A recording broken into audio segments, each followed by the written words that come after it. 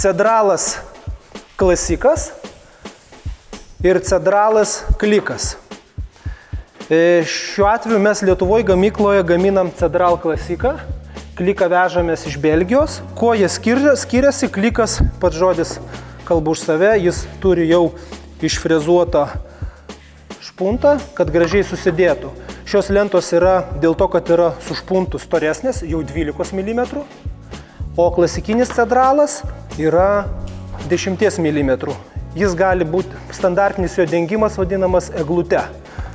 Tai yra viena ant kitos užsideda lentutė. Paviršiai gali būti irgi dviejų tipų. Medžio struktūros ir lygus. Tai lygus tas matot, jis tas lygus šiek tiek primena samanėlę šitoje vietoje. Jis cedraloje galima sakyti istoriją tai, kad kodėl jis tampa vis populiaresnis ir kodėl jis lyginamas su medžiu, su dailylentė, tai faktas, tai yra dailylentė. Tai yra dailylentė, cementinė dailylentė, kuri gaminama 3,60 m ilgio, 19 pločio, cm storio ir vat, būtent medžio imitacija yra viena populiariausių.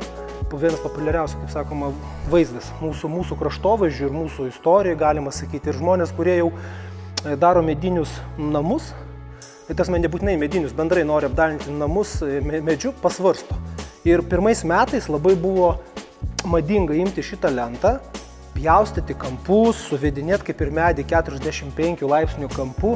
Mes tokių objektų turim labai nemažai. Jie atrodo labai gražiai, tikrai įdomiai, bet e, laiko einant atėjo, tasme, yra tokios detalės kaip kampai išoriniai, kurie pavyzdžiui palengvina darbą, pagreitina.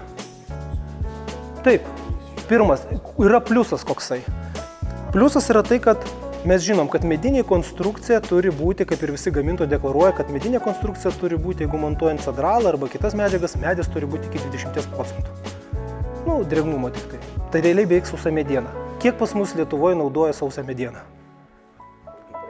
2 procentai, nu jūs patys atsakė. Didžioji dalis naudoja šlapę medieną.